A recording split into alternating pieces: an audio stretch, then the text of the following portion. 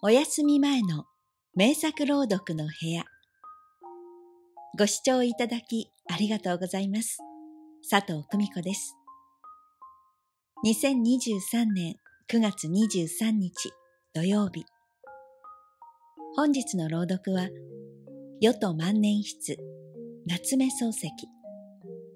海から来た使い、小川未明。青水線赤水線夢の旧作。サルカニ合戦。芥川龍之介。4作です。聞きたい作品が終わりの方やこのオープニングを飛ばして朗読を聞きたい方は概要欄をご覧いただきますとお好きな場所からお聞きいただけます。さて3作目。青水線赤水線。タイトルを見て、え？水線って青や赤もあるの？と思いました。私は水線というと黄色や白のイメージなのですが、皆さんはいかがでしょうか？ちょっと青や赤の水線のイメージが湧かなくて、調べてみましたら、水線には黄色や白以外にもピンクや緑、オレンジなど色とりどりの花が咲くとありました。この色とりどりという中にもしかしたら赤や青も含まれるのでしょうか。結局クエスチョンマークのままでした。ですがせっかくなので水仙の花言葉調べてみましたらうぬぼれや自己愛とありました。夢の旧作さんの青髄線赤髄線は全く逆の世界かもしれません。今晩も心を込めて朗読させていただきます。また、こちらのチャンネルを登録いただきますと、この朗読の部屋を見つけていただきやすくなります。そして良かったと感じていただけました際には、高評価ボタンも押していただけますと大変嬉しく励みになります。感想などのコメントもいただけましたらとっても嬉しいです。ぜひお気軽に書き込んでください。では、明日の朝も気持ちよく目覚められますように。おやすみなさい。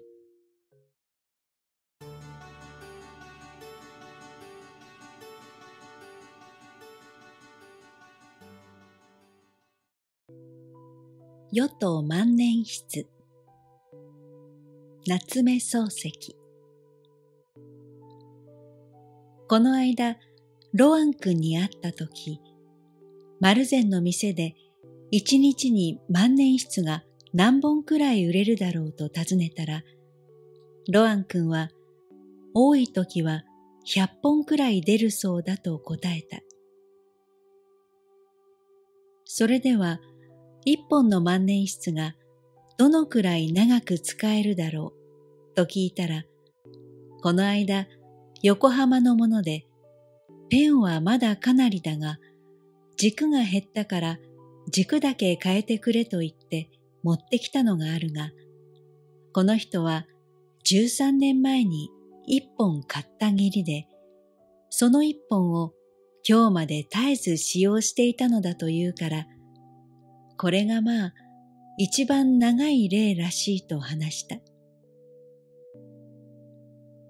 してみると、普通の場合ではいくら残酷に使っても大抵六七年の保証はつけられるのが一般の万年筆の運命らしい。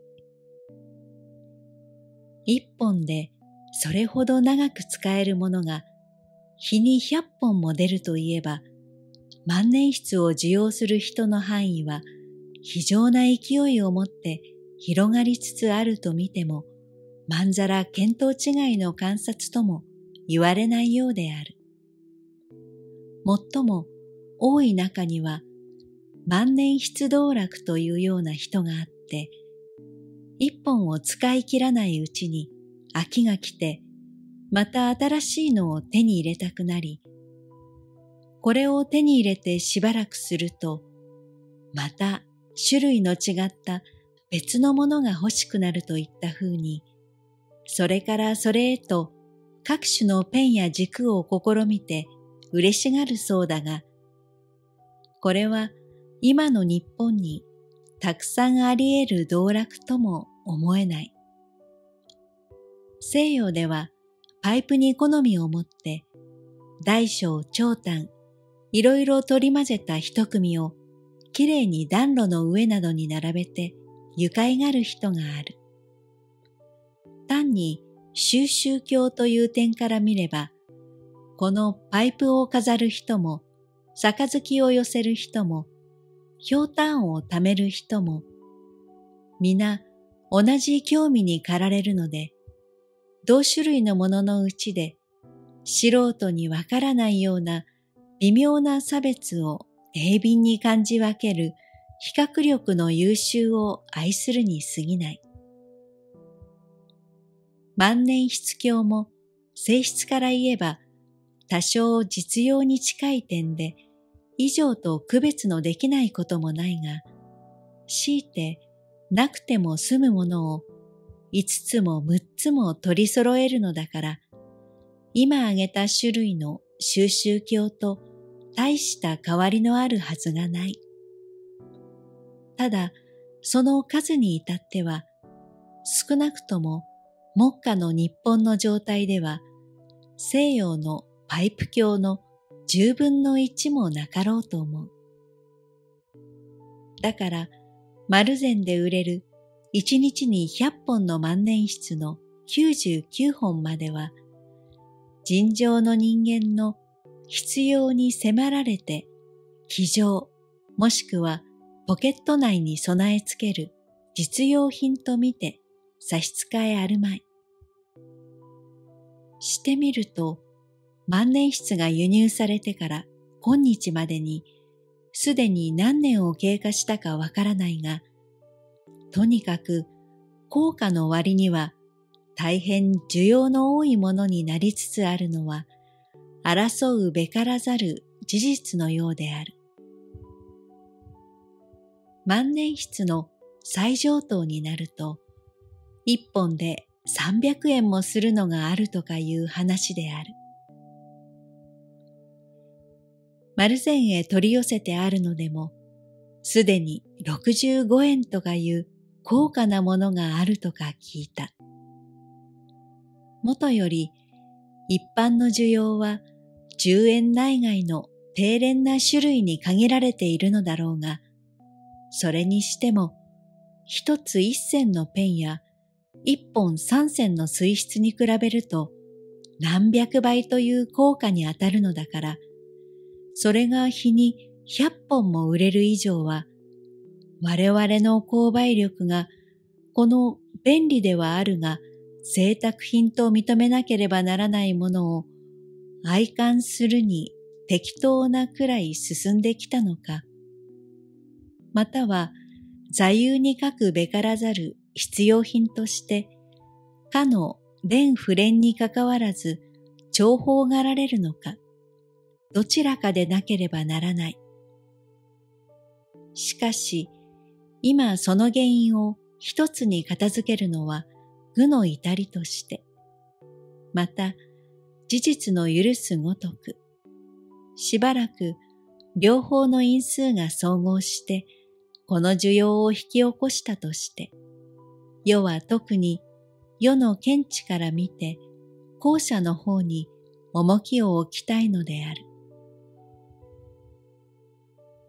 自白すると、世は万年筆にあまり深い縁故もなければ、また人に講釈するほどに精通していない素人なのである。初めて万年筆を用い出してからわずか三四年にしかならないのでも親しみの薄いことは明らかにわかる。もっとも十二年前に要行するとき親戚の者が選別として一本くれたがそれはまだ使わないうちに船の中で機械体操の真似をしてすぐ壊してしまった。それから外国にいる間は常にペンを使ってことを足していたし、帰ってから原稿を書かなくてはならない境遇に置かれても、下手な字をペンでガシガシ書いて済ましていた。それで三四年前になって、なぜ万年筆に改めようと急に思い立ったか。その理由は今ちょっと思い出せないが、第一に便利という実際的な動機に支配されたのは事実に違いない。万年筆について何らの経験もない世は、その時、マルゼンからペリカンと称するものを2本買って帰った。そうしてそれを未だに用いているのである。が、不幸にして世のペリカンに対する感想は甚だよろしくなかった。ペリカンは世の要求しないのに陰気をむやみにポタポタ原稿紙の上へ落としたり、またはぜひ牧食を出してもらわなければ済まないとき、ガンとして要求を拒絶したり、随分持ち主を虐待した。もっとも持ち主たる世の方でもペリカンを厚遇しなかったかもしれない。武将な世は陰気がなくなると勝手次第に机の上にあるどんな陰気でも構わずにペリカンの腹の中へつぎ込んだ。また、ブリューブラックの生来嫌いな世はわざわざセピア色の墨を買ってきて、遠慮なくペリカンの口を割って飲ました。その上、無経験な世はいかにペリカンを取り扱うべきかを返しなかった。現にペリカンがいかに出しぶっても、世は未だかつて彼を選択した試しがなかった。それで、ペリカンの方でも、半ば世に愛想をつかし、世の方でも、半ばペリカンを見限って、この正月、彼岸過ぎまでを必するときは、また一時代逮捕して、ペンと、そうしてペン軸の急平な昔に逆戻りをした。その時、世は初めて離別した第一の細君を後から懐かしく思うごとく、一旦見捨てたペリカンに未練の残っていることを発見したのである。ただのペンを用い出した世は、陰気の切れる旅ごとに墨壺の中へ筆を浸して新たに書き始める煩わしさに絶えなかった。幸いにして、世の原稿がそれほどの手数が省けたとて、早く出来上がる性質のものでもなし。また、ペンにすれば、世の好むセピア色で自由に原稿紙を彩ることができるので、まあ、彼岸過ぎまでの完結までは、ペンで押し通すつもりでいたが、その決心の底には、どうしても多少の負け惜しみがこもっていたようである。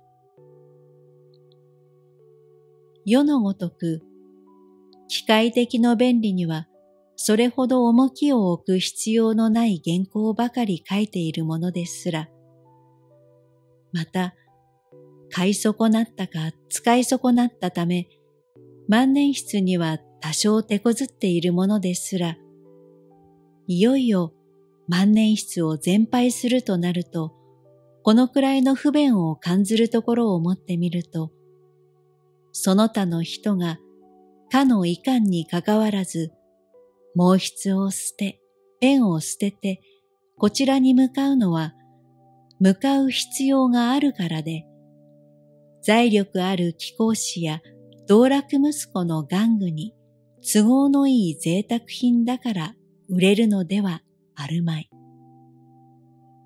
万年筆の丸善における需要をそう解釈した世は、各種の万年筆の比較研究やら、いちいちの利害特筆やらについて、一言の意見を述べることのできないのを、大いに時世遅れのごとくに恥じた。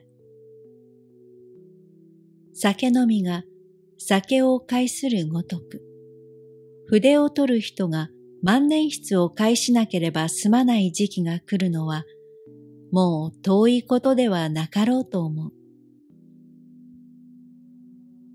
ペリカンだけの経験で万年筆はダメだという僕が人から笑われるのも間もないこととすれば、僕も笑われないために少しは他の万年筆も試してみる必要があるだろう。現にこの原稿は、ロアン君が使ってみろと言ってわざわざ送ってくれたオノトで書いたのであるが、大変心持ちよくすらすらかけて愉快であった。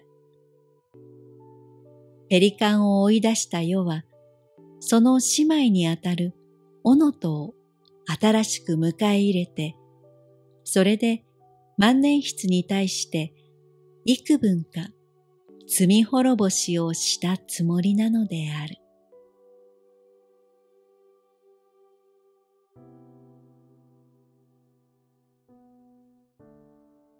海から来た使い小川未明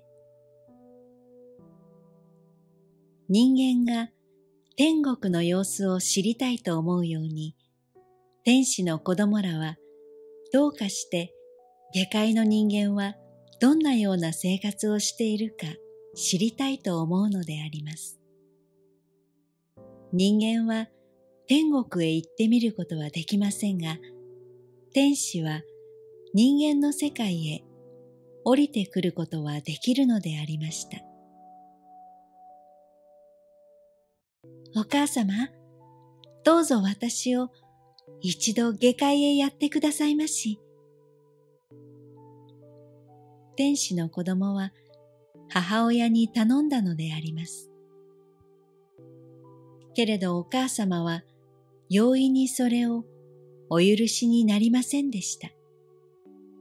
なぜなら人間は天使より野蛮であったからです。そして我が子の身の上にどんな過ちがないとも限らないからでありました。どうぞお母様、私を一度下界へやってくださいまし。と、幾度となく、その小さな天使の一人はお母様に頼みました。毎夜のように地球は美しく紫色に空間に輝いていました。そしてその地球には天使と同じような姿をした人間が住んで、いろいろな、それは天使たちにはちょっと想像のつかない生活をしていると聞いたからでありました。それほどまでに下界へ行ってみたいなら、やってあげないこともないが、しかし、一度行ったなら、三年は辛抱して、この天国へ帰ってきてはなりません。もしその決心がついたなら、やってあげましょう。と、お母様は言われました。美しい天使はしばらく考えていました。そしてついに決心をいたしました。三年の間、私は下界に行って辛抱をいたします。そして、いろいろなものを見たり、また聞いたりしてきます。と答えました。天国から下界に達する道はいくつかありました。赤い船に乗って雲の間や波の間を分けてから恐ろしい旋風に体を任せて二日二晩も長い旅を続けてからようやく下界の海の上に静かに降りることもその一つであればまた体を雲と化したり鳥と化したり露と化したりして下界の山の上や尖った建物の屋根の頂や野原などに降りることもできたのであります。天使は人間の力ではできないことも容易にされたのです。だから小さな可愛らしい天使が野蛮な人間の住んでいる下界へ降りてみたいなどと思ったのも無理のないことでありました。小さな天使はいつしか下界に降りて美しい少女となっていました。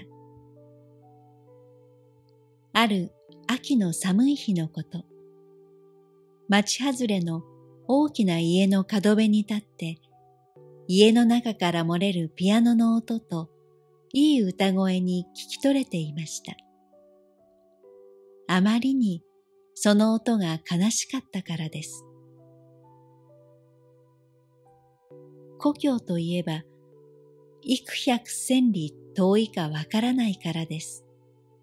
そして帰りたいと思っても、今やそのすべすらなく、全く道もなかったからであります。少女はどうかして優しい人の情けによって救われたいと思いました。空はしぐれの来そうな模様でした。今朝方から街の中をさまよっていたのです。たまたまこの家の前に来て思わず足を止めてしばらく聞き取れたのでした。そのうちに街には明かりがつきました。家のうちのピアノの音は止んで、歌の声もしなくなりました。けれど、哀れな少女は、この家の前を去ろうとせずに、そこに立っていました。その時、立派な様相をして、お嬢さんが出てきました。お嬢さんはこれからどこかへ出かけられる様子でした。お姉さん、私も一緒に連れて行ってください。と、角に立っている少女は呼びかけました。お嬢さんはびっくりして振り返ると、そこに可愛らしい、しかし寒そうな、寂しそうな様子をして、少女が自分の顔を見上げていましたので、この子供はどこの子だろうかと首をかしげたが思い出せませんでした。どうして私が行くところを知っているの？とお嬢さんは言いました。私はお姉さんがおいでなさるところをよく知っています。お姉さんはこれから舞踏会においでなさるのでしょう？私はお邪魔をいたしませんから、どうか連れて行ってください。私は皆さんの踊りなさるのが見たいのです。と少女は頼みました。いいえ、お前さんを連れて行くことなどはできません。早くお帰りなさい。と、お嬢さんは迷惑そうに言って、さっさとあちらへ行ってしまいました。少女はお嬢さんの行方を恨めしそうに見送っていますと、お嬢さんの姿は夕もやのうちに隠れて消えていってしまいました。少女は仕方なく寂しい方へと歩いて行きました。もう日は暮れかかっていました。町を離れると家の数がだんだん少なくなりました。その時、道の上でちょうど自分と同じ年頃の少女が赤ん坊をおぶって子守歌を歌っていました。この子守歌を聞くと歩いてきた少女はすっかり感心してしまいました。なんという情けの深い歌だろう。天国にもこれより尊い歌は聞いたことはない。と思いました。そして少女は近づくと赤ん坊をおぶって歌を歌っている娘に優しく問いかけたのであります。もう日が暮れるじゃありませんか。こんなに遅くなるまであなたは外に立って歌を歌っておいでなさるのですか？と少女は言いました。赤ん坊をおぶっている娘は知らない少女ではありましたが、こう優しく問いかけられると目に涙をためて、お母さんが病気なもんですから、父をたくさん飲ませることができないのです。なるだけ赤ちゃんを眠らせるために、こうしていつまでも外に立って歌を歌っているのです。と言いました。少女は娘の言うことに深く同情いたしました。そんなら夜中でも起きてあなたは歌を歌いなさるのですか？夜中でも起きて、私は牛乳を飲ませたり、泣くときは森をしなければなりません。と、娘は答えました。美しい、優しい少女は感心してしまいました。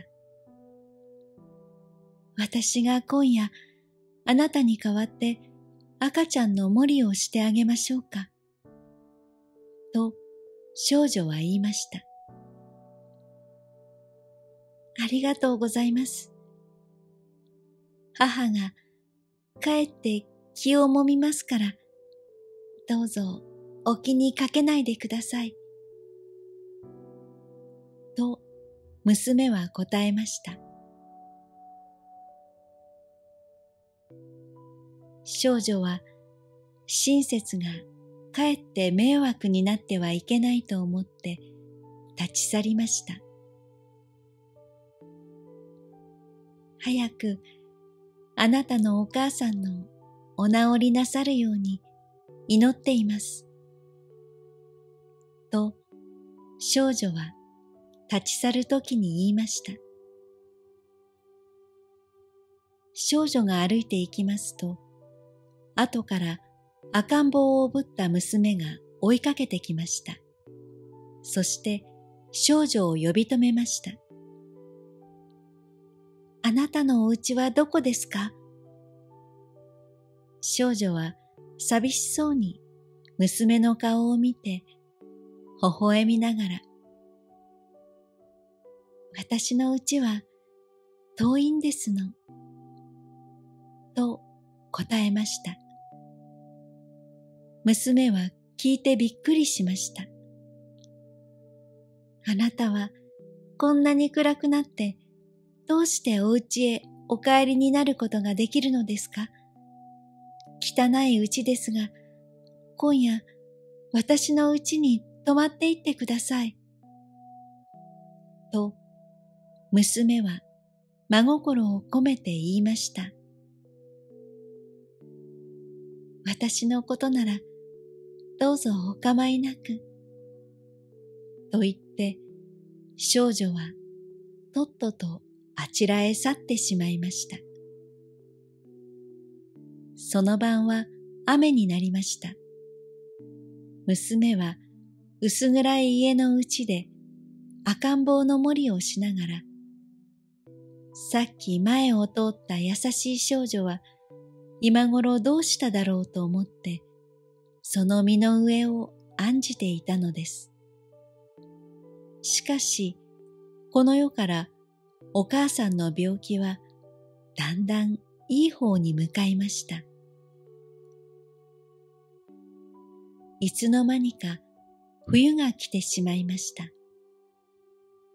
木枯らしの吹く夜のことです。地の上には二三日前に降った大雪がまだ消えずに残っていました。空にはキラキラと星がすごい雲間に輝いていました。ここに哀れな年取ったあんまがありました。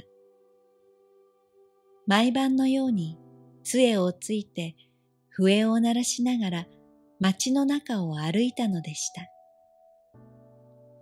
あんまは坂にかかって地が凍っているものですから足を滑らしました。その弾みに懐の財布を落とすと口が開いて銀貨や銅貨がみんなあたりに転がってしまったのでした。しまった。と、あんまは慌てて両手で地面を探し始めました。指の先は寒さと冷たさのために傷んで、石ころであるか土であるか、それともどうかであるかさえ判断がつかなかったのでした。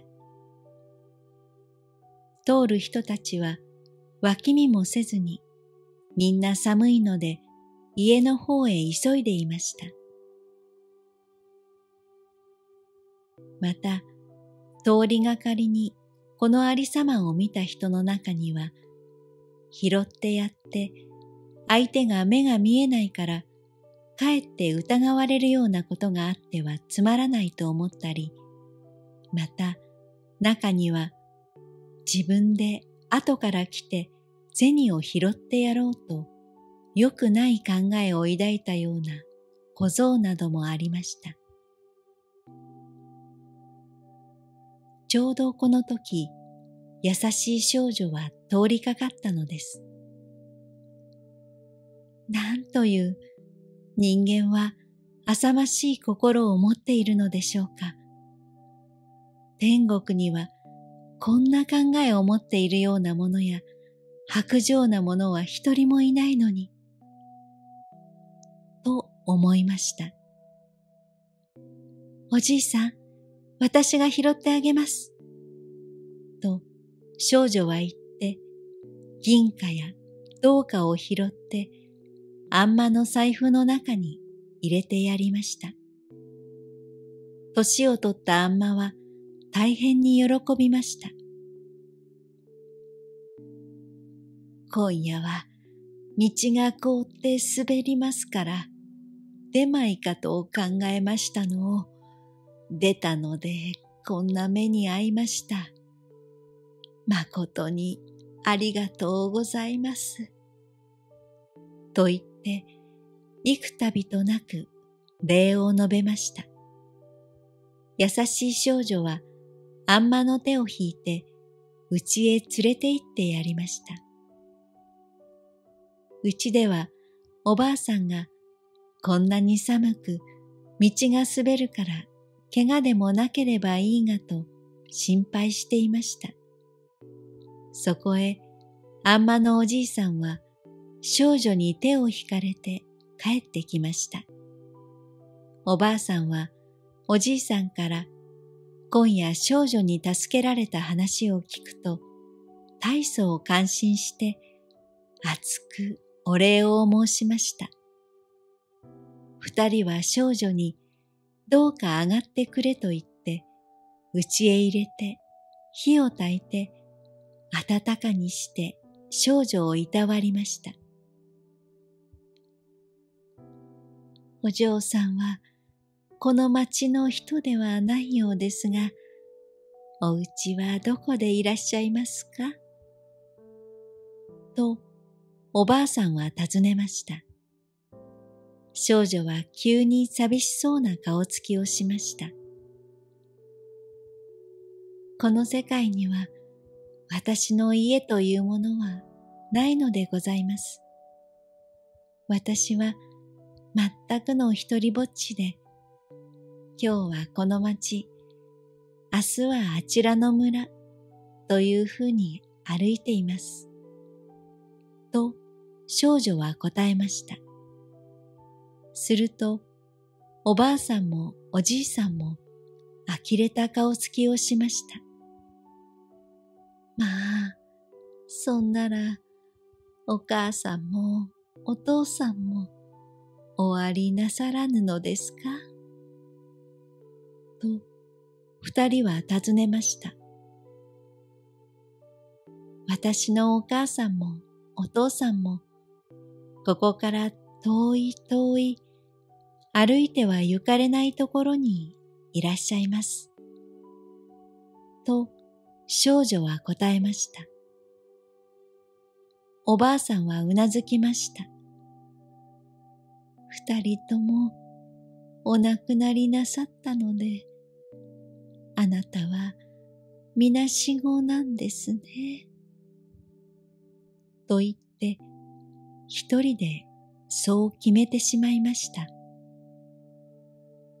目の見えないおじいさんはおばあさんの袖を引きました。優しい子でもあるし、両親がないというのだから、幸い、うちの子にしてはどうだな？と、顔をおばあさんの方に向けて小さな声で言いました。おばあさんはじろじろと少女の様子を見て、みなしごにしてはあまりきれいで、どことなく上品なので、何らか腑に落ちないように小首を傾けていました。そう、お前さんのように、やすやすと決めていいものですか？と、怒り声を出して言いました。おばあさん、よく考えてみるがいい。こんな子供があったら、どれほどうちの役に立つか知れないぜ。と、あんまは言いました。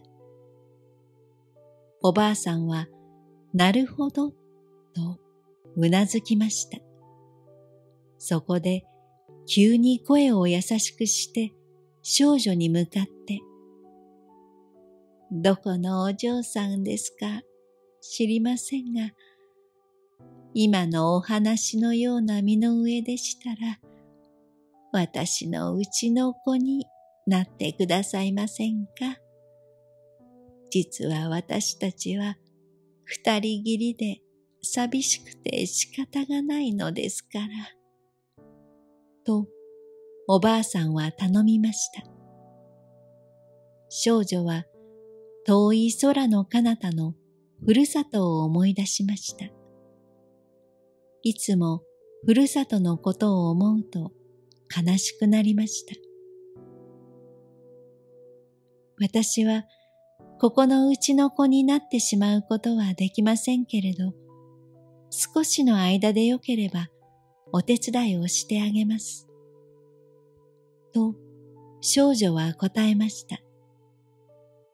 そんなら少しの間でもいいから手伝いをしてください。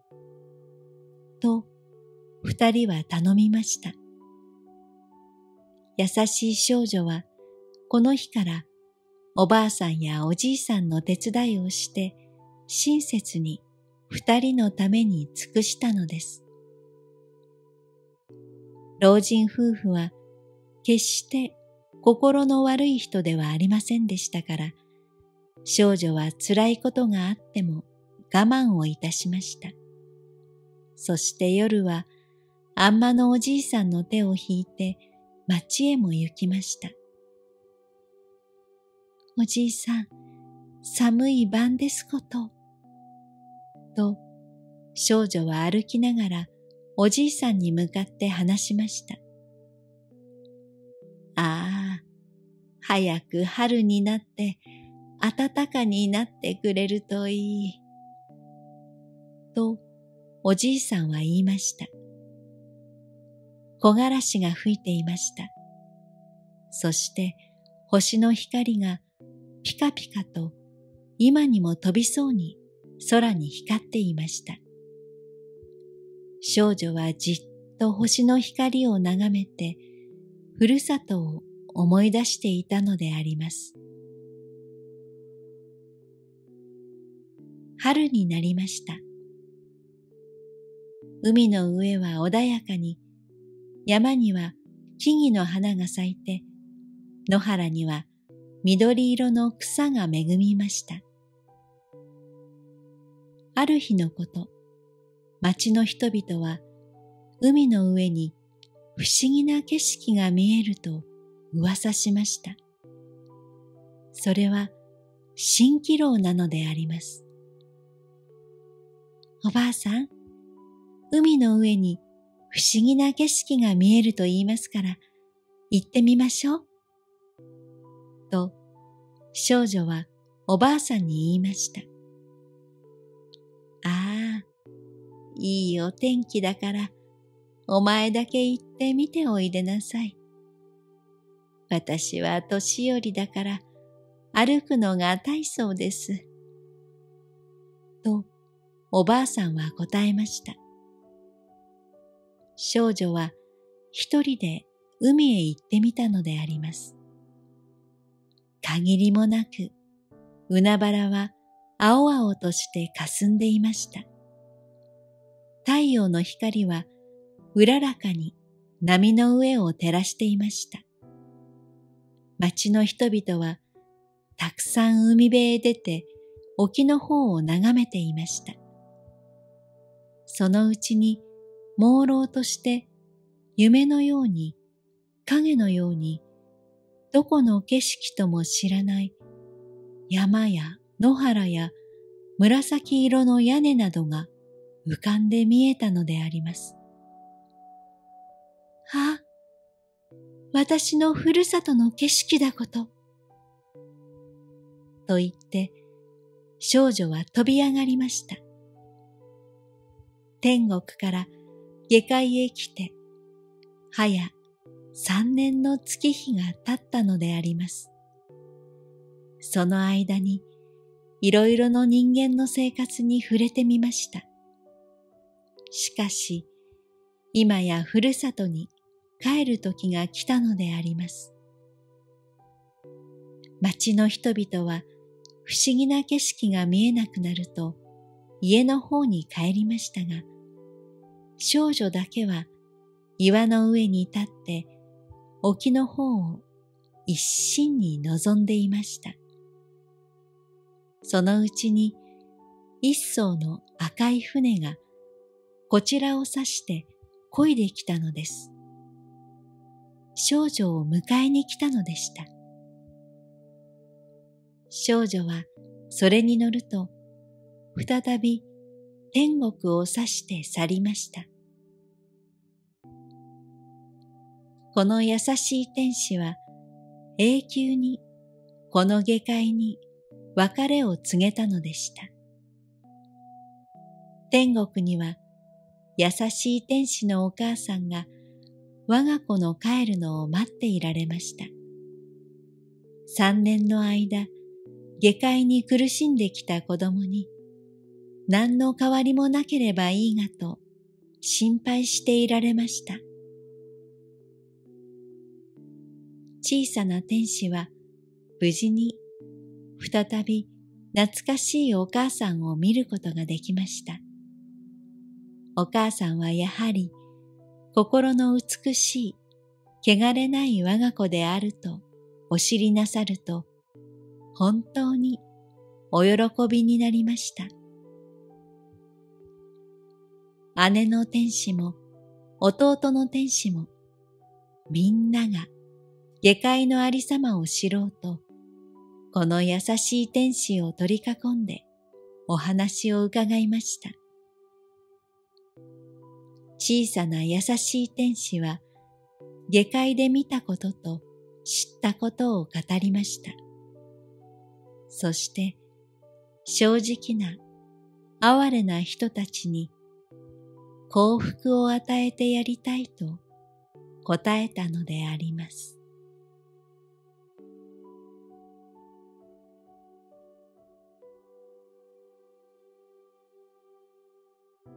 青水仙、赤水仙、夢の旧作。歌子さんは友達に教わって水仙の根を切り割って赤い絵の具と青い絵の具を入れてお庭の隅に埋めておきました。早く芽が出て赤と青の水仙の花が咲けばいいと毎日水をやっておりましたが、いつまでも芽が出ません。ある日、学校から帰ってすぐにお庭に来てみると、大変です。お父様がお庭中をすっかり掘り返して畑にしておいでになります。そうして歌子さんを見ると、いやあ、歌子か。お父さんはうっかりして悪いことをした。お前の大切な水仙を二つとも桑で半分に切ってしまったから、裏の草原へ捨ててしまった。勘弁してくれ。その代わり、今度水仙の花が咲く頃になったら、大きな品水仙を買ってやるから。と、お謝りになりました。歌子さんは泣きたいのをやっと我慢して、裏の草原を探しましたが、もう見つかりませんでした。そうしてその晩、布団の中で品水仙はいらない。あの水仙がかわいそうだ。もう水をやることができないのか。と、いろいろ考えながら泣いて寝ました。あくる日、学校から帰るときに、歌子さんは、もう家へ帰っても水仙に水をやることができないから、つまらないなと、しくしく泣きながら帰ってきますと、途中で二人のきれいなお嬢さんが出てきて、慣れ慣れしくそばへ寄って、あなた、なぜ泣いていらっしゃるの？と尋ねました。歌子さんが訳を話すと、それでは私たちと遊んでくださいますしな。と親切に言いながら連れ立ってお家へ帰りました。二人は本当に静かなおとなしい子でした。顔色は二人とも雪のように白く、お下げに黄金の稲飾りをつけて一人は赤の、一人は青のリボンを結んでおりました。歌子さんは少し不思議に思って尋ねました。あなたたちはそんな薄い緑色の着物を着て寒くはありませんか？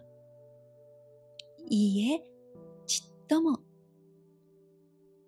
お名前は何とおっしゃるの？花子、玉子と申します。どこにいらっしゃるのですか？二人は顔を見合わせてにっこり笑いました。この頃、ご近所に来たのです。どうぞ遊んでくださいましね。歌子さんはそれから毎日三人でおとなしく遊びました。本を見たり、絵や字を書いたり、お手玉をしたりして日が暮れると、二人は揃って、さようなら、と帰っていきました。お母さんは、本当におとなしい品のいいお嬢さんですこと。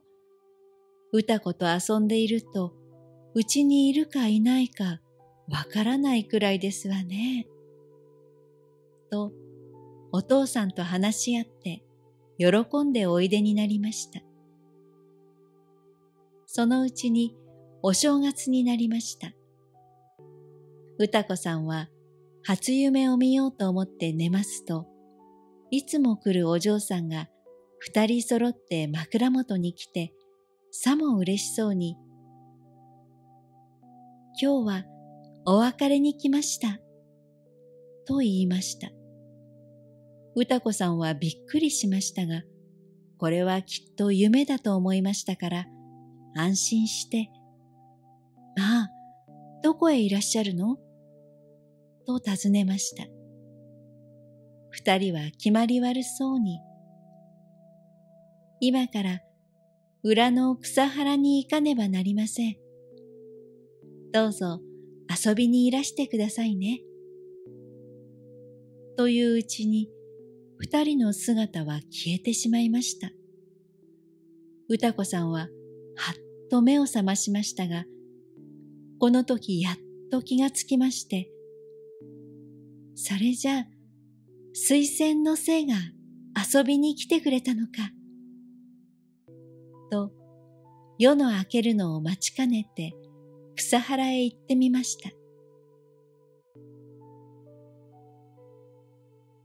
草原は黄色く枯れてしまっている中に、水仙が一本青々と伸びていて、青と赤と二色の花が美しく咲き並んでおりました。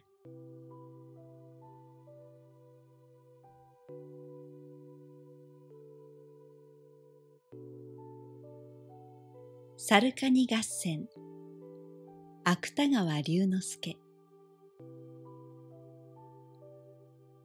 カニの握り飯を奪った猿はとうとうカニに仇を取られた。カニは、臼、蜂、卵と共に、御敵の猿を殺したのである。その話は今更しないでもよい。ただ、猿を仕留めた後、カニをはじめ同志の者はどういう運命に放着したか、それを話すことは必要である。なぜといえば、おとぎ話は全然このことは話していない。いや、話していないどころか、あたかもカニは穴の中に、臼は台所の土間の隅に、蜂は軒先の蜂の巣に、卵はもみ殻の箱の中に、太平無事な生涯でも送ったかのように装っている。しかし、それは偽りである。彼らは仇を取った後、警官の捕獲するところとなり、ことごとく監獄に投ぜられた。しかも裁判を重ねた結果、主犯カニは死刑になり、臼、蜂、卵らの共犯は無期時計の宣告を受けたのである。おとぎ話のみしか知らない読者は、こういう彼らの運命に絵画の念を持つかもしれない。が、これは事実である。寸合も疑いのない事実である。カニは、カニ自身の言によれば、握り飯と柿と交換した。が、猿は熟子を与えず、青柿ばかり与えたのみか、カニに障害を加えるように、散々その柿を投げつけたという。しかしカニは、猿との間に一通の証書も取り交わしていない。よしまたそれは不問に付しても、握り飯と柿と交換したといい、熟子とは特に断っていない。最後に青柿を投げつけられたというのも、猿に悪意があったかどうか、その辺の証拠は不十分である。だから、カニの弁護に立った雄弁の名の高い某弁護士も、裁判官の同情を請うより他に策のいずるところを知らなかったらしい。その弁護士は気の毒そうにカニの泡を拭ってやりながら、諦めたまえ、と言ったそうである。もっともこの諦めたまえは、死刑の宣告を下されたことを諦めたまえと言ったのだか、弁護士に大金を取られたことを諦めたまえと言ったのだか、それは誰にも決定できない。その上、新聞雑誌の世論も、カニに同情を寄せたものはほとんど一つもなかったようである。カニの猿を殺したのは、私憤の結果に他ならない。しかも、その私憤たるや、己の無知と軽率とから、猿に利益を占められたのをいまいましがっただけではないか。優勝劣敗の世の中にこういう私憤を漏らすとすれば、愚者にあらずんば強者である。という非難が多かったらしい。現に商業会議所回答某男爵のごときは、大体神のような意見とともにカニの猿を殺したのも多少は流行の危険思想にかぶれたのであろうと論断した。そのせいか、カニの敵討ち以来、某男爵は宗師の他にもブルドッグを十頭飼ったそうである。かつまた、カニの敵討ちは、いわゆる指揮者の間にも一向好評を博さなかった。大学教授某博士は倫理学上の見地からカニの猿を殺したのは復讐の意志に出たものである。復讐は善と称しがたいと言った。それから社会主義の某狩猟はカニは柿とか握り飯とかいう私有財産をありがたがっていたから、臼や蜂や卵なども反動的思想を持っていたのであろう。ことによると、尻押しをしたのは国水会かもしれない、と言った。それから、房州の館長坊氏は、カニは仏慈悲を知らなかったらしい。たとえ青柿を投げつけられたとしても、仏慈悲を知っていさえすれば、猿の所業を憎む代わりに、かえってそれを憐れんだであろう。ああ、思えば一度でもいいから、私の説教を聞かせたかった。と言った。それからまた各方面にいろいろ批評する名詞はあったが、いずれもカニの敵討ちには不賛成の声ばかりだった。そういう中にたった一人、カニのために気を吐いたのは、守護兼詩人の某大義士である。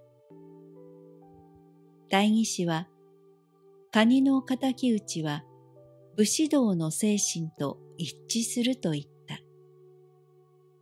しかし、こんな時代遅れの議論は誰の耳にも止まるはずはない。のみならず、新聞のゴシップによると、その代議士は数年以前、動物園を見物中、猿に威張りをかけられたことを遺恨に思っていたそうである。おとぎ話しか知らない読者は、悲しいカニの運命に同情の涙を落とすかもしれない。しかし、カニの死は当然である。それを気の毒に思いなどするのは、不女同様のセンチメンタリズムに過ぎない。天下はカニの死を是なりとした。現に死刑の行われたよ。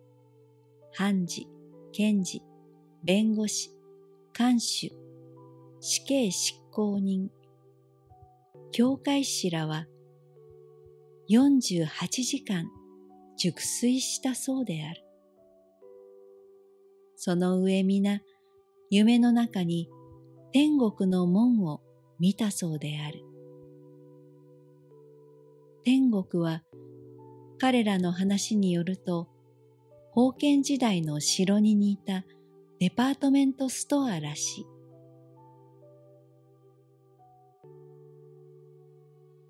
ついでにカニの死んだ後、カニの家庭はどうしたか、それも少し書いておきたい。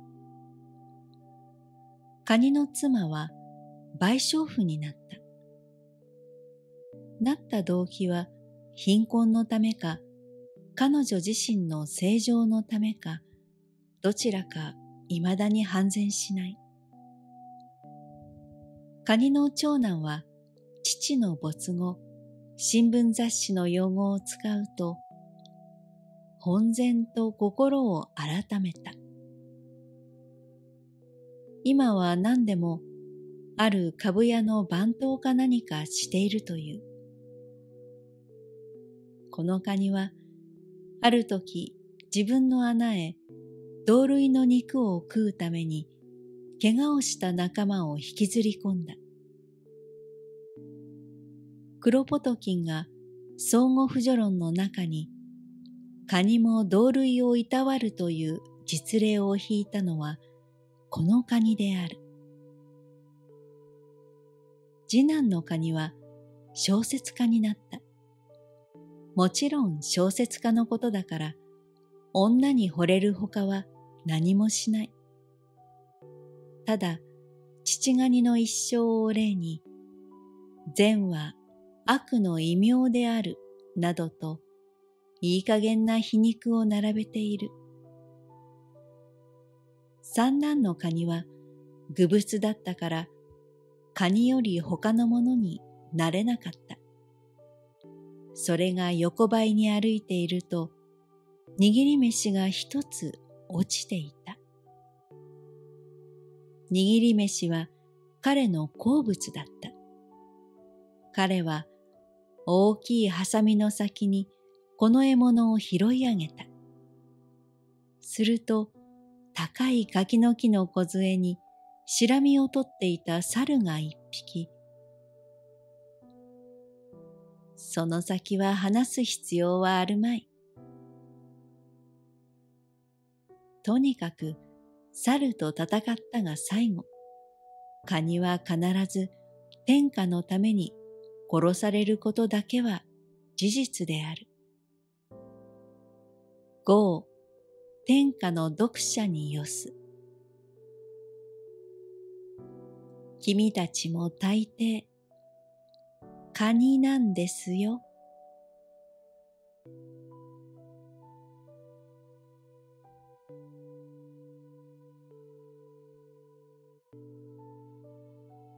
与党万年筆夏目漱石この間、ロアン君に会った時、マルゼンの店で一日に万年筆が何本くらい売れるだろうと尋ねたら、ロアン君は多い時は100本くらい出るそうだと答えた。それでは一本の万年筆がどのくらい長く使えるだろうと聞いたら、この間横浜のもので、ペンはまだかなりだが、軸が減ったから軸だけ変えてくれと言って持ってきたのがあるが、この人は13年前に一本買ったぎりで、その一本を今日まで絶えず使用していたのだというから、これがまあ一番長い例らしいと話した。してみると、普通の場合ではいくら残酷に使っても大抵六七年の保証はつけられるのが一般の万年筆の運命らしい。一本でそれほど長く使えるものが日に百本も出るといえば万年筆を受容する人の範囲は非常な勢いを持って広がりつつあると見ても、まんざら見当違いの観察とも言われないようである。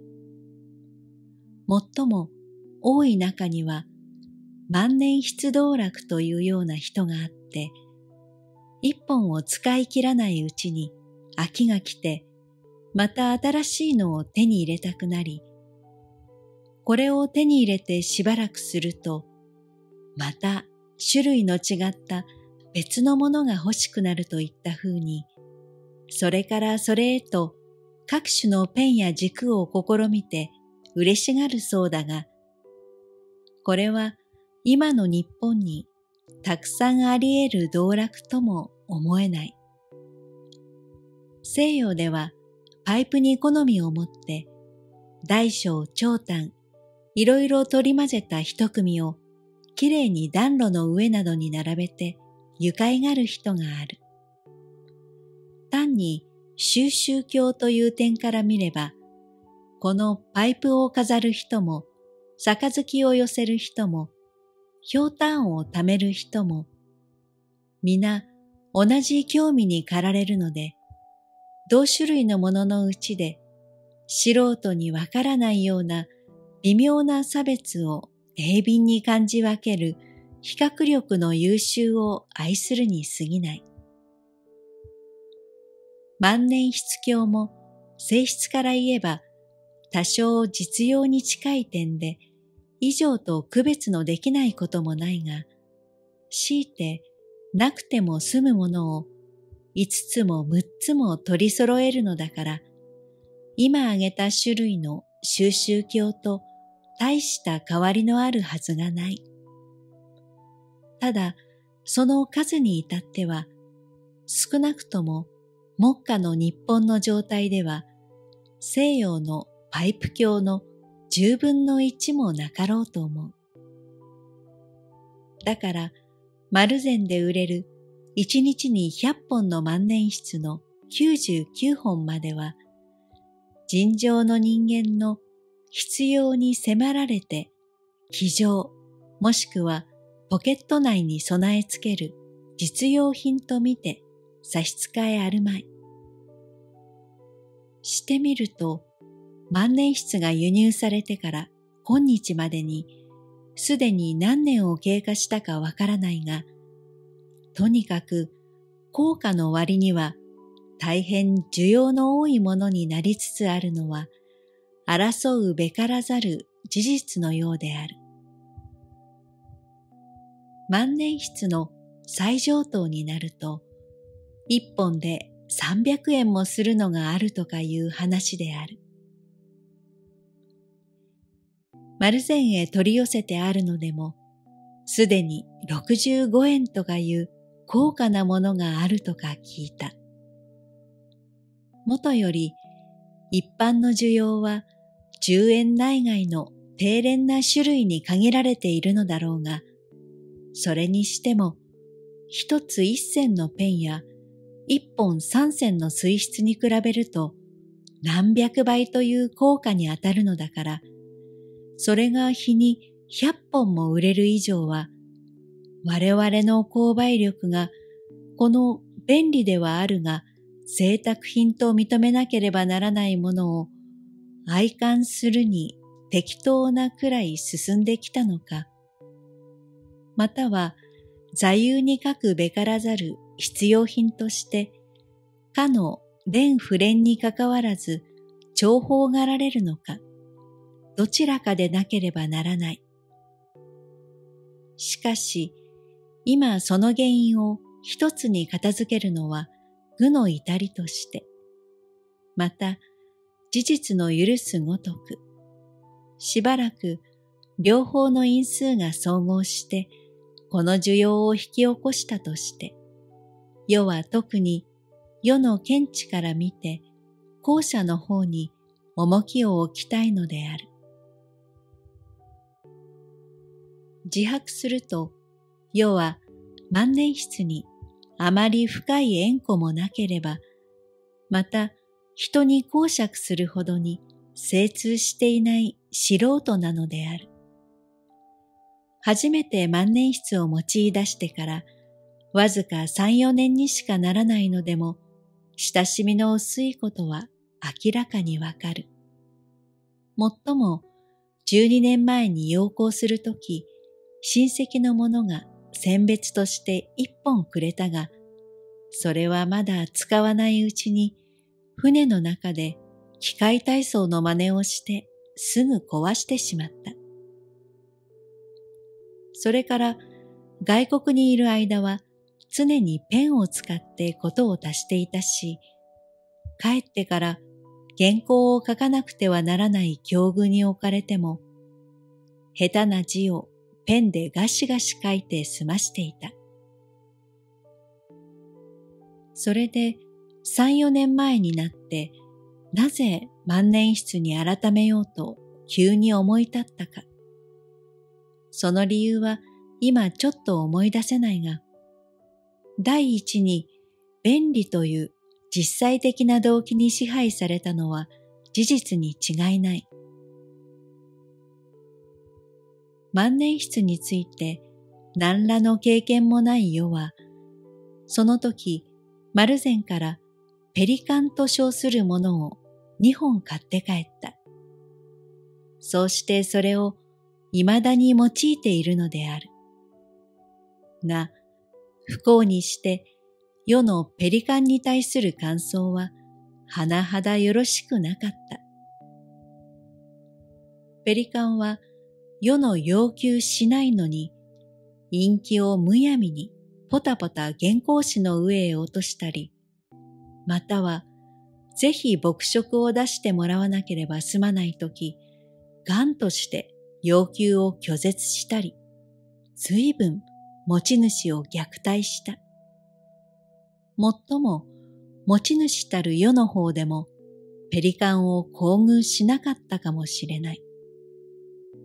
武将な世は陰気がなくなると勝手次第に机の上にあるどんな陰気でも構わずにペリカンの腹の中へつぎ込んだ。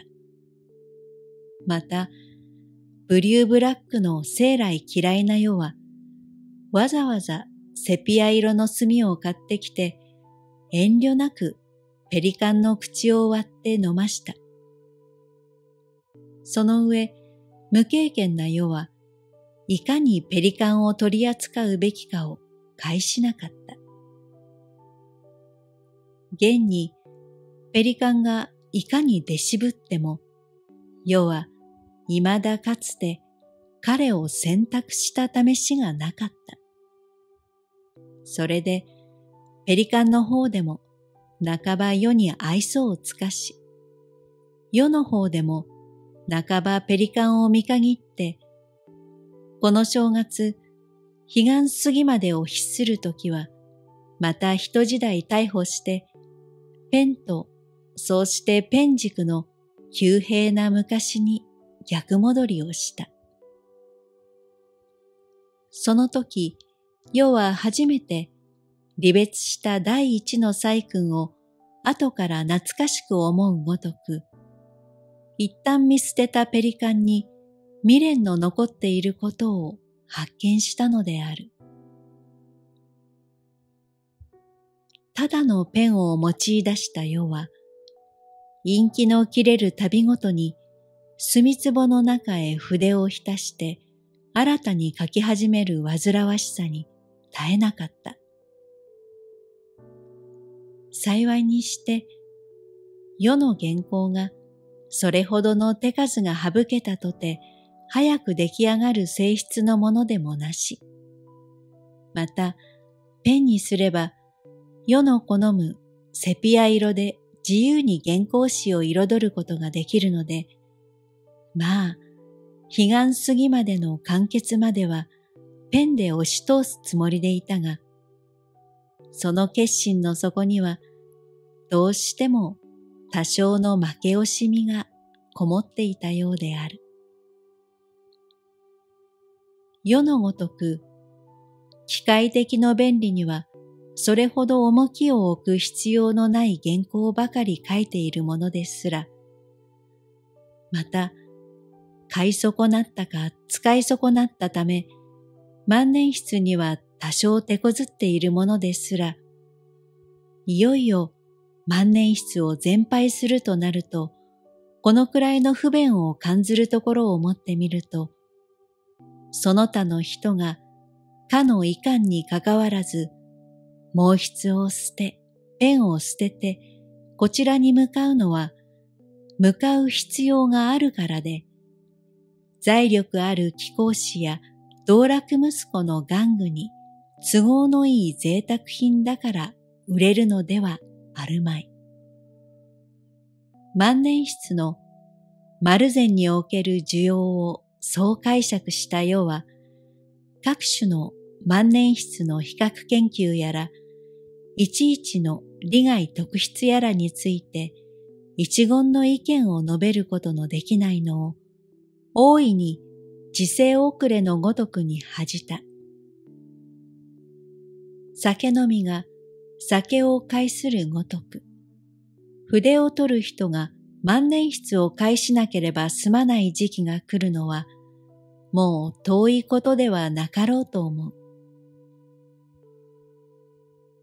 ペリカンだけの経験で万年筆はダメだという僕が人から笑われるのも間もないこととすれば、僕も笑われないために少しは他の万年筆も試してみる必要があるだろう。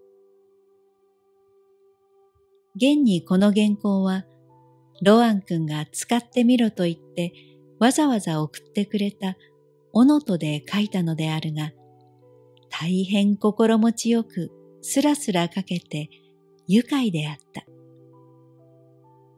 ペリカンを追い出した世は、その姉妹にあたるオノトを新しく迎え入れて、それで万年筆に対して幾分か罪滅ぼしをしたつもりなのである。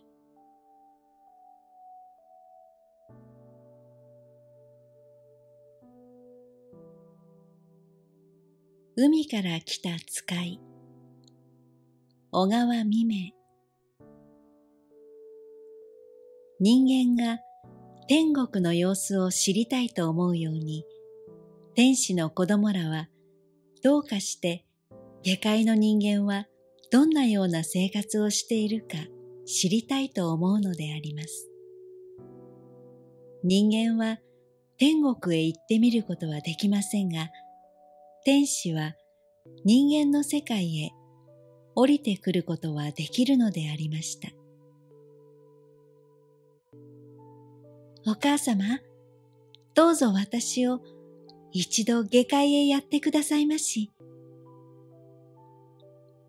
天使の子供は母親に頼んだのであります。けれどお母様は容易にそれをお許しになりませんでした。なぜなら人間は天使より野蛮であったからです。そして我が子の身の上にどんな過ちがないとも限らないからでありました。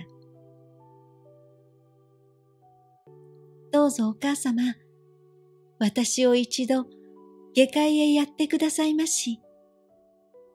と、幾度となく、その小さな天使の一人はお母様に頼みました。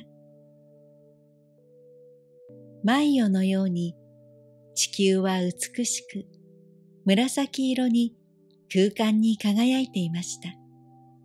そしてその地球には天使と同じような姿をした人間が住んでいろいろなそれは天使たちにはちょっと想像のつかない生活をしていると聞いたからでありました。それほどまでに下界へ行ってみたいなら、やってあげないこともないが、しかし、一度行ったなら、三年は辛抱して、この天国へ帰ってきてはなりません。もしその決心がついたなら、やってあげましょう。と、お母様は言われました。美しい天使はしばらく考えていました。そしてついに決心をいたしました。三年の間、私は下界に行って辛抱をいたします。そして、いろいろなものを見たり、また聞いたりしてきます。と答えました。天国から下界に達する道はいくつかありました。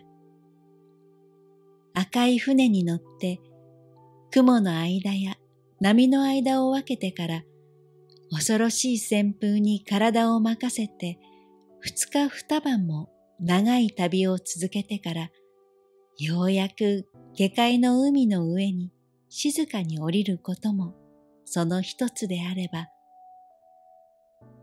また体を雲と化したり鳥と化したり、露と化したりして、下界の山の上や、尖った建物の屋根の頂や、野原などに降りることもできたのであります。天使は人間の力ではできないことも容易にされたのです。だから小さな可愛らしい天使が野蛮な人間の住んでいる下界へ降りてみたいなどと思ったのも無理のないことでありました。小さな天使はいつしか下界に降りて美しい少女となっていました。ある秋の寒い日のこと、町外れの大きな家の角辺に立って家の中から漏れるピアノの音といい歌声に聞き取れていました。あまりにその音が悲しかったからです。故郷といえば、幾百千里遠いかわからないからです。そして帰りたいと思っても、今やそのすべすらなく、全く道もなかったからであります。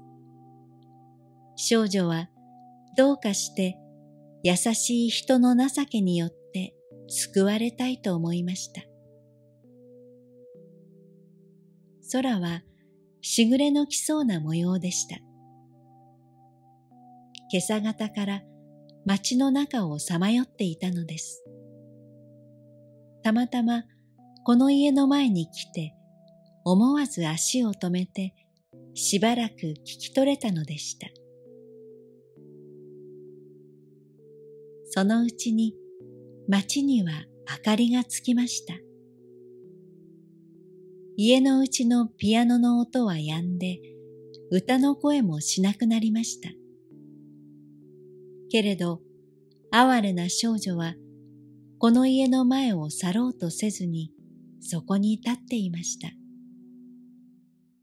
その時、立派な様相をして、お嬢さんが出てきました。お嬢さんはこれからどこかへ出かけられる様子でした。お姉さん、私も一緒に連れて行ってください。と、角に立っている少女は呼びかけました。お嬢さんはびっくりして振り返ると、そこに可愛らしい、しかし寒そうな、寂しそうな様子をして、少女が自分の顔を見上げていましたので、この子供はどこの子だろうかと首をかしげたが思い出せませんでした。どうして私が行くところを知っているの？とお嬢さんは言いました。私はお姉さんがおいでなさるところをよく知っています。お姉さんはこれから舞踏会においでなさるのでしょう私はお邪魔をいたしませんから、どうか連れて行ってください。私は皆さんの踊りなさるのが見たいのです。と少女は頼みました。いいえ、お前さんを連れて行くことなどはできません。早くお帰りなさい。と、お嬢さんは迷惑そうに言って、さっさとあちらへ行ってしまいました。少女はお嬢さんの行方を恨めしそうに見送っていますと、お嬢さんの姿は夕もやのうちに隠れて消えていってしまいました。少女は仕方なく寂しい方へと歩いて行きました。もう日は暮れかかっていました。町を離れると家の数がだんだん少なくなりました。その時、道の上でちょうど自分と同じ年頃の少女が赤ん坊をおぶって子守歌を歌っていました。この子守歌を聞くと歩いてきた少女はすっかり感心してしまいました。なんという情けの深い歌だろう。天国にもこれより尊い歌は聞いたことはない。と思いました。そして少女は近づくと赤ん坊をおぶって歌を歌っている娘に優しく問いかけたのであります。もう日が暮れるじゃありませんか。こんなに遅くなるまであなたは外に立って歌を歌っておいでなさるのですか？と少女は言いました。赤ん坊をおぶっている娘は知らない少女ではありましたが、こう優しく問いかけられると、目に涙をためて、お母さんが病気なもんですから、父をたくさん飲ませることができないのです。なるだけ赤ちゃんを眠らせるために、こうしていつまでも外に立って歌を歌っているのです。と言いました。少女は娘の言うことに深く同情いたしました。そんなら夜中でも起きてあなたは歌を歌いなさるのですか？夜中でも起きて私は牛乳を飲ませたり泣くときは森をしなければなりません。と娘は答えました。美しい、優しい少女は感心してしまいました。私が今夜あなたに代わって赤ちゃんの森をしてあげましょうか。と少女は言いました。ありがとうございます。母が帰って気をもみますから、どうぞお気にかけないでください。と娘は答えました。少女は親切がかえって迷惑になってはいけないと思って立ち去りました。早くあなたのお母さんのお治りなさるように祈っています。と少女は立ち去るときに言いました。少女が歩いていきますと、後から赤ん坊をぶった娘が追いかけてきました。そして少女を呼び止めました。あなたのお家はどこですか？少女は寂しそうに娘の顔を見て微笑みながら私の家は遠いんですのと答えました。娘は聞いてびっくりしました。あなたはこんなに暗くなってどうしてお家へお帰りになることができるのですか汚い家ですが、今夜私の家に泊まって行ってください。と、娘は真心を込めて言いました。私のことならどうぞお構いなく。と言って少女はとっととあちらへ去ってしまいました。その晩は雨になりました。娘は薄暗い家のうちで赤ん坊の森をしながら、さっき前を通った優しい少女は今頃どうしただろうと思ってその身の上を案じていたのです。しかし、この世からお母さんの病気はだんだんいい方に向かいました。いつの間にか冬が来てしまいました。木枯らしの吹く夜のことです。地の上には二三日前に降った大雪がまだ消えずに残っていました。空にはキラキラと星がすごい雲間に輝いていました。ここに哀れな年取ったあんまがありました。毎晩のように杖をついて笛を鳴らしながら街の中を歩いたのでした。あんまは坂にかかって地が凍っているものですから足を滑らしました。その弾みに懐の財布を落とすと口が開いて銀貨や銅貨がみんなあたりに転がってしまったのでした。ああ、しまった。と、あんまは慌てて両手で地面を探し始めました。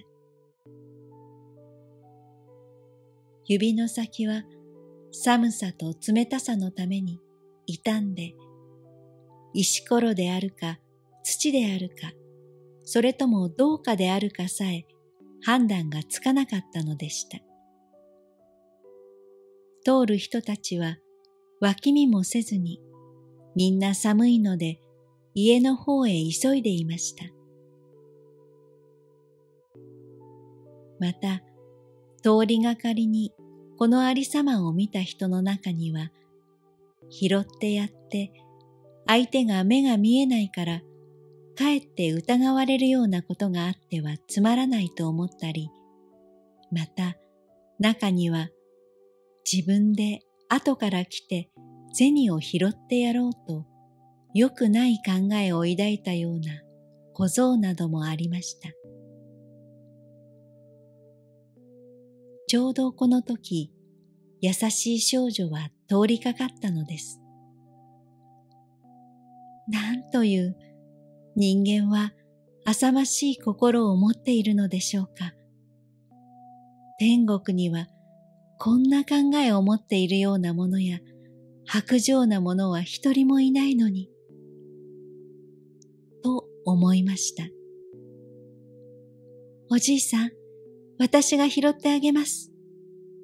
と少女は言って、銀貨や銅貨を拾ってあんまの財布の中に入れてやりました。年を取ったあんまは大変に喜びました。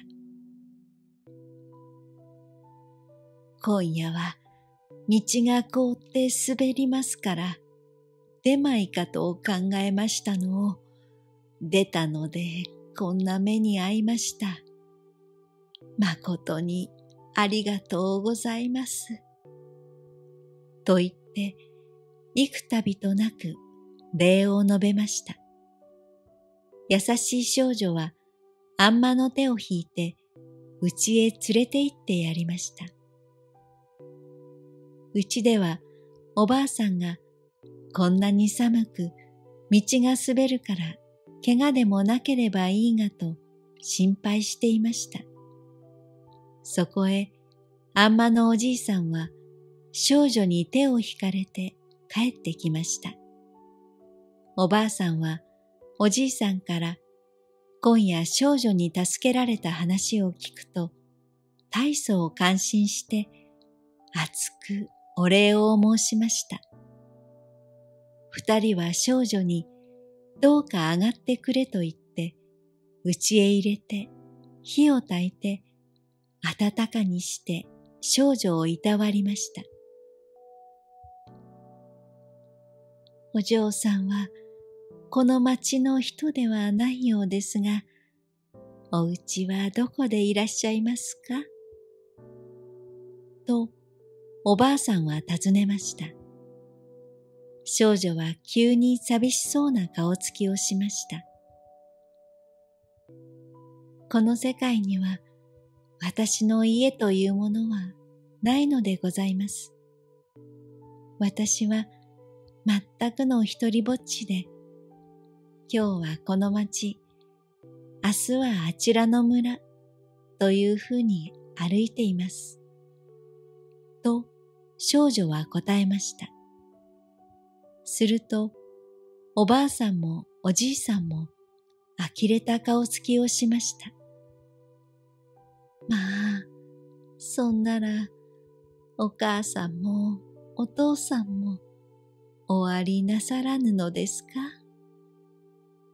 と二人は尋ねました。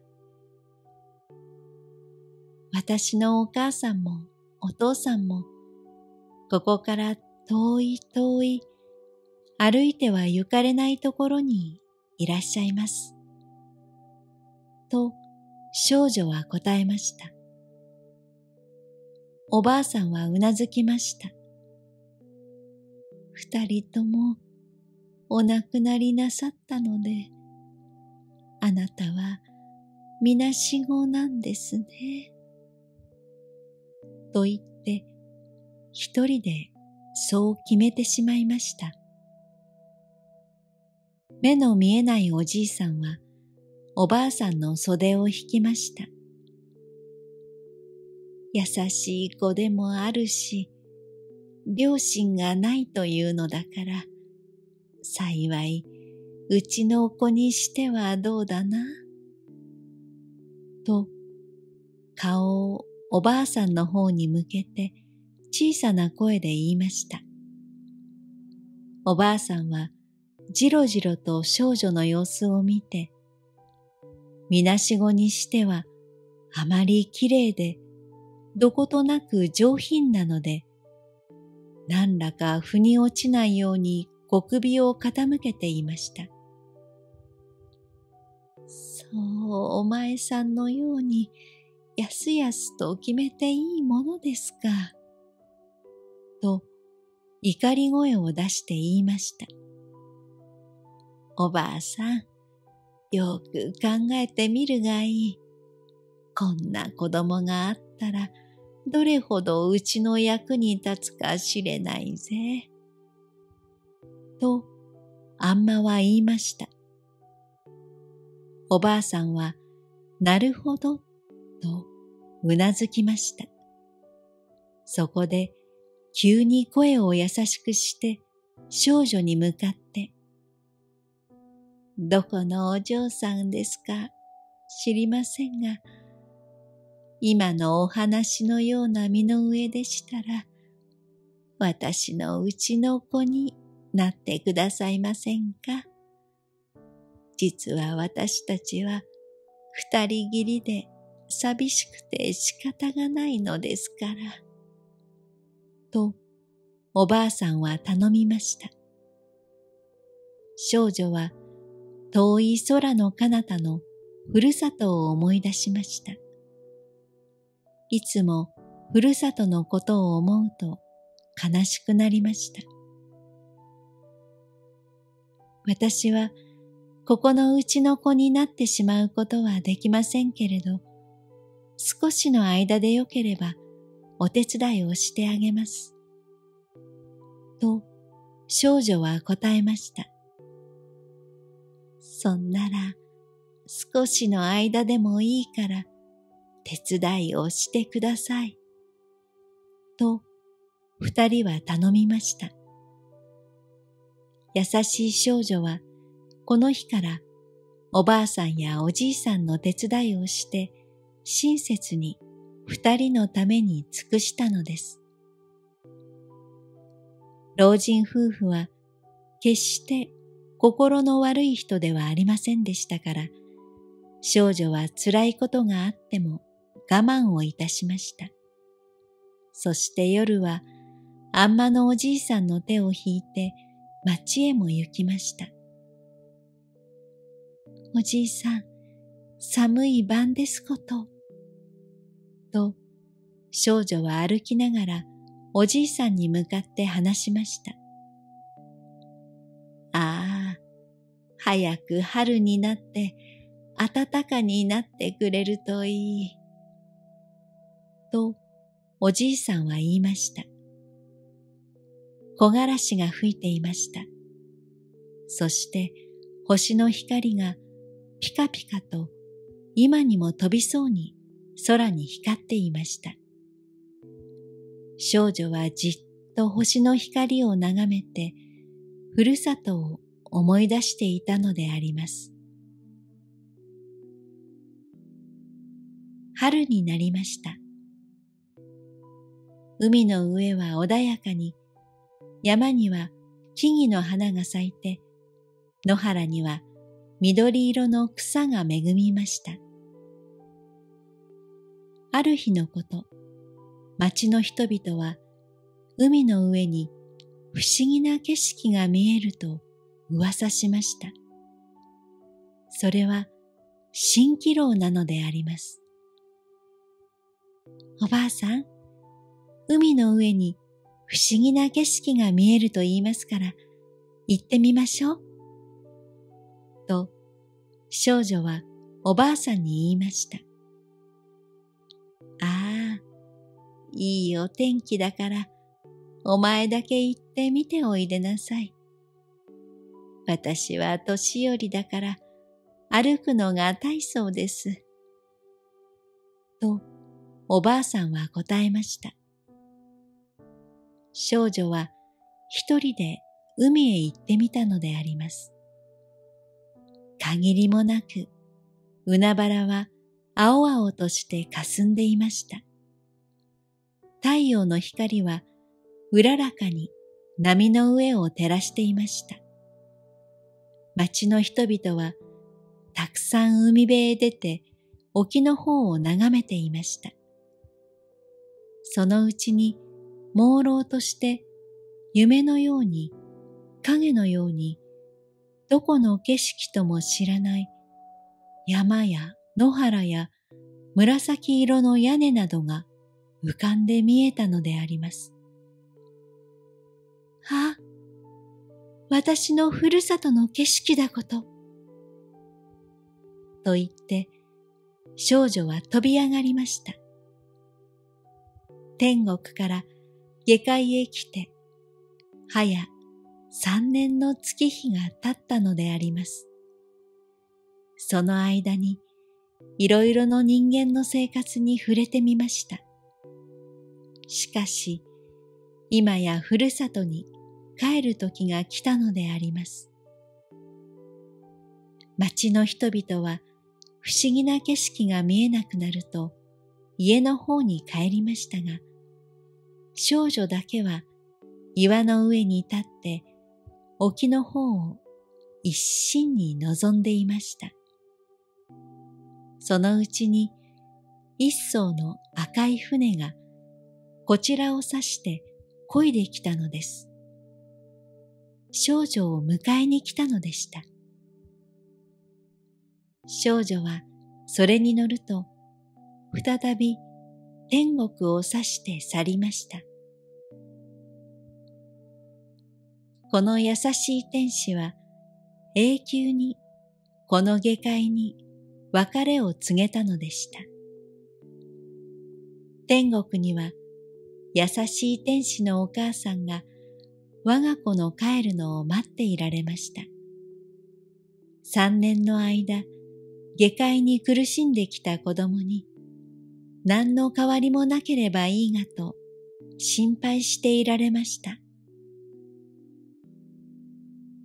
小さな天使は無事に再び懐かしいお母さんを見ることができました。お母さんはやはり心の美しい、汚れない我が子であるとお知りなさると、本当にお喜びになりました。姉の天使も弟の天使もみんなが下界のありさまを知ろうと、この優しい天使を取り囲んでお話を伺いました。小さな優しい天使は下界で見たことと知ったことを語りました。そして正直な哀れな人たちに幸福を与えてやりたいと答えたのであります。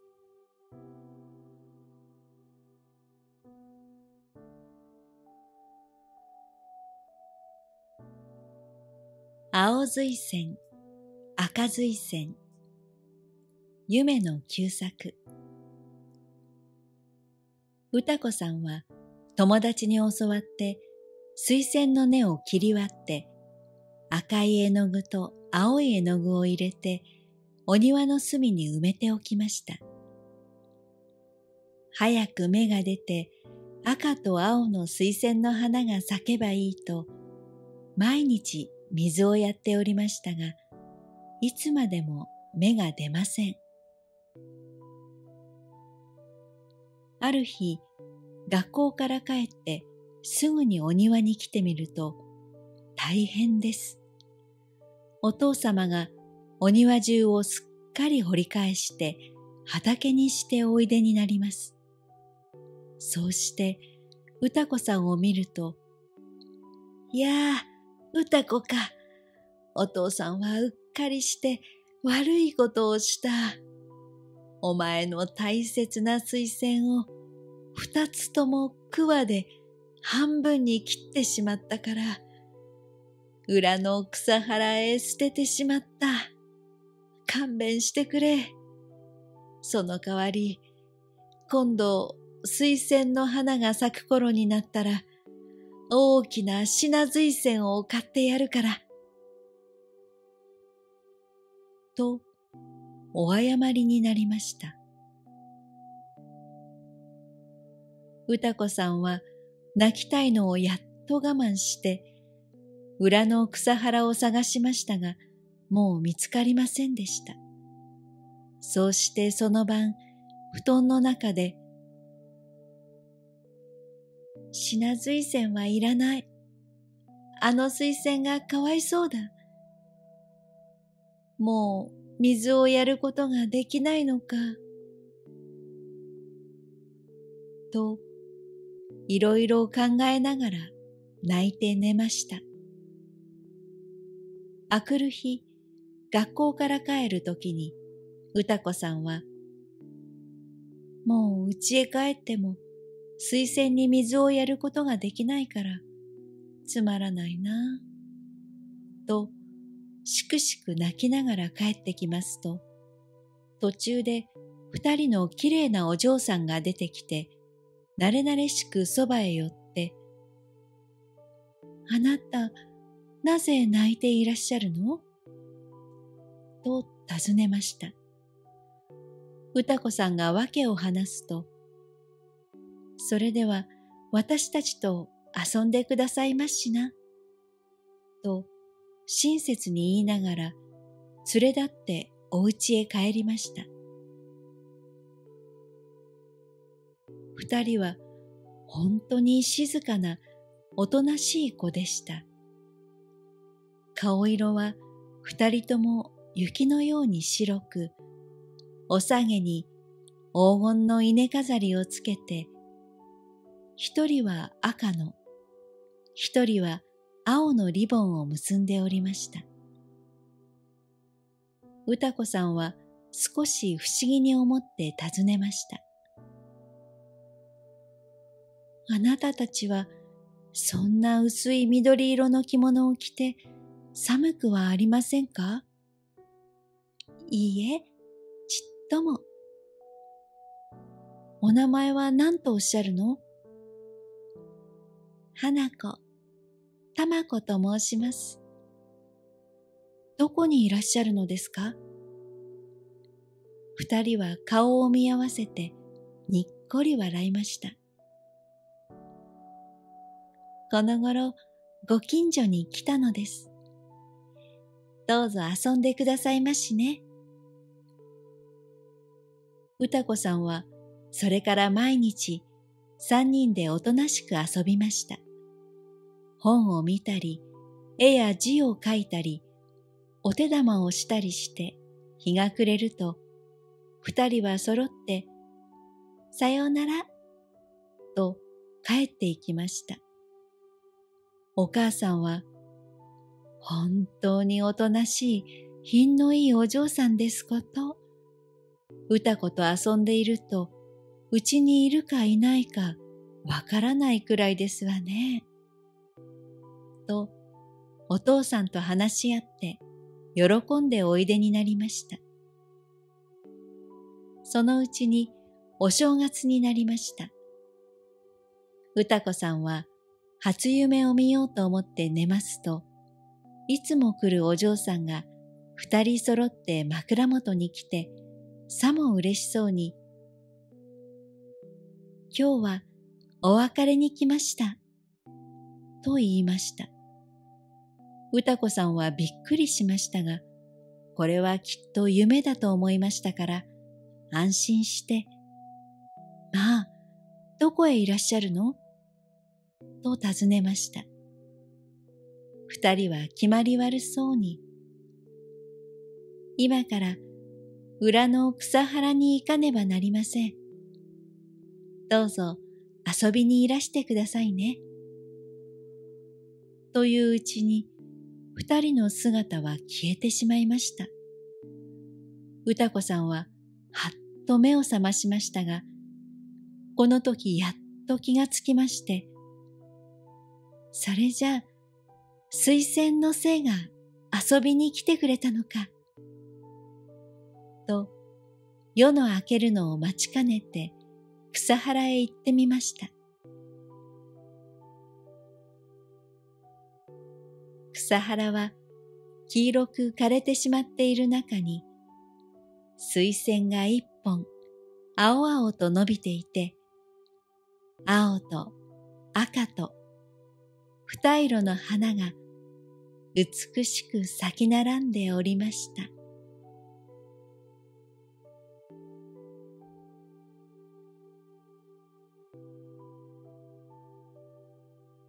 サルカニ合戦芥川龍之介カニの握り飯を奪った猿はとうとうカニに仇を取られた。カニは臼、蜂、卵と共に御敵の猿を殺したのである。その話は今更しないでもよい。ただ、猿を仕留めた後、カニをはじめ同志の者はどういう運命に放着したか。それを話すことは必要である。なぜといえば、おとぎ話は全然このことは話していない。いや、話していないどころか、あたかもカニは穴の中に、臼は台所の土間の隅に、蜂は軒先の蜂の巣に、卵はもみ殻の箱の中に、太平無事な生涯でも送ったかのように装っている。しかし、それは偽りである。彼らは仇を取った後、警官の捕獲するところとなり、ことごとく監獄に投ぜられた。しかも、裁判を重ねた結果、主犯カニは死刑になり、臼、蜂、卵らの共犯は無期時計の宣告を受けたのである。おとぎ話のみしか知らない読者は、こういう彼らの運命に絵画の念を持つかもしれない。が、これは事実である。寸合も疑いのない事実である。カニは、カニ自身の言によれば、握り飯と柿と交換した。が、猿は熟子を与えず、青柿ばかり与えたのみか、カニに障害を加えるように、散々その柿を投げつけたという。しかしカニは、猿との間に一通の証書も取り交わしていない。よしまたそれは不問に付しても、握り飯と柿と交換したといい、熟子とは特に断っていない。最後に青柿を投げつけられたというのも、猿に悪意があったかどうか、その辺の証拠は不十分である。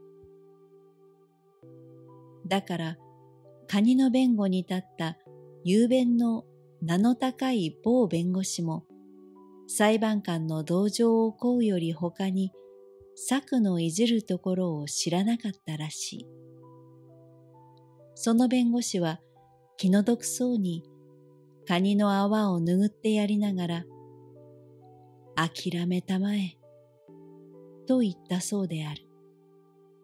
もっともこの諦めたまえは、死刑の宣告を下されたことを諦めたまえと言ったのだか、弁護士に大金を取られたことを諦めたまえと言ったのだか、それは誰にも決定できない。その上、新聞雑誌の世論も、カニに同情を寄せたものはほとんど一つもなかったようである。カニの猿を殺したのは、私憤の結果に他ならない。しかも、その私憤たるや、己の無知と軽率とから猿に利益を占められたのを忌々しがっただけではないか。優勝劣敗の世の中にこういう私憤を漏らすとすれば、愚者にあらずんば強者である。という非難が多かったらしい。現に商業会議所回答某男爵のごときは、大体神のような意見とともに、カニの猿を殺したのも多少は流行の危険思想にかぶれたのであろうと論断した。そのせいか、カニの敵討ち以来、某男爵は宗師の他にもブルドッグを十頭飼ったそうである。かつまた、カニの敵討ちは、いわゆる指揮者の間にも一向好評を博さなかった。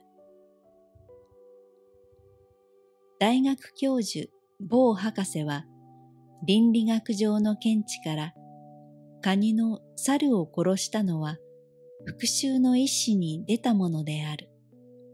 復讐は善と称しがたいと言った。それから社会主義の某狩猟はカニは柿とか握り飯とかいう私有財産をありがたがっていたから臼や蜂や卵なども反動的思想を持っていたのであろう。ことによると、尻押しをしたのは国水会かもしれない、と言った。それから、房州の館長坊氏は、カニは仏慈悲を知らなかったらしい。たとえ青柿を投げつけられたとしても、仏慈悲を知っていさえすれば、猿の所業を憎む代わりに、かえってそれを憐れんだであろう。ああ、思えば一度でもいいから私の説教を聞かせたかった。と言った。それからまた各方面にいろいろ批評する名詞はあったが、いずれもカニの敵討ちには不賛成の声ばかりだった。そういう中にたった一人、カニのために気を吐いたのは、守護兼詩人の某代議士である。代議士は、カニの敵討ちは武士道の精神と一致すると言った。しかし、こんな時代遅れの議論は誰の耳にも止まるはずはない。のみならず、新聞のゴシップによると、その代議士は数年以前、動物園を見物中、猿に威張りをかけられたことを遺恨に思っていたそうである。おとぎ話しか知らない読者は、悲しいカニの運命に同情の涙を落とすかもしれない。しかし、カニの死は当然である。それを気の毒に思いなどするのは、不女同様のセンチメンタリズムに過ぎない。殿下はカニの死を是なりとした。現に死刑の行われたよ。判事、検事、弁護士、監守、死刑執行人、教会士らは48時間熟睡したそうである。その上皆夢の中に天国の門を見たそうである。天国は彼らの話によると、封建時代の城に似たデパートメントストアらしい。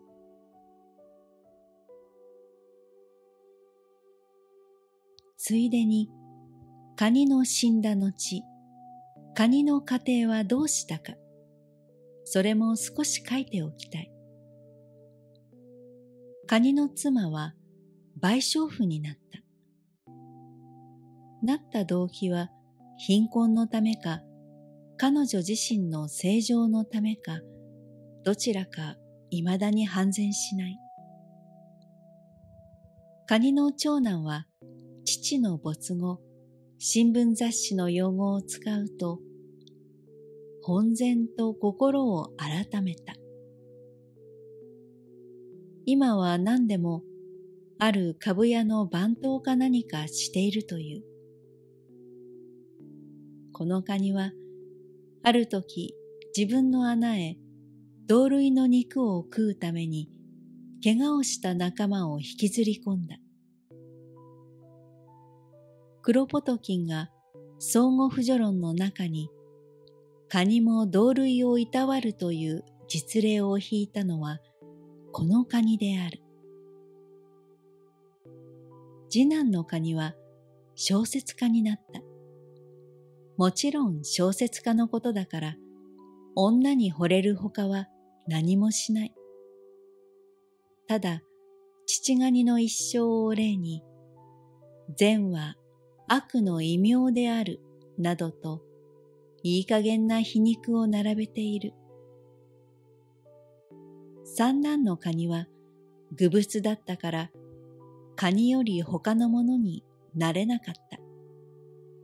それが横ばいに歩いていると握り飯が一つ落ちていた。握り飯は彼の好物だった。彼は大きいハサミの先にこの獲物を拾い上げた。すると高い柿の木の梢にしらみを取っていた猿が一匹。その先は話す必要はあるまい。とにかく猿と戦ったが最後、カニは必ず天下のために殺されることだけは事実である。五、天下の読者によす。君たちも大抵、カニなんですよ。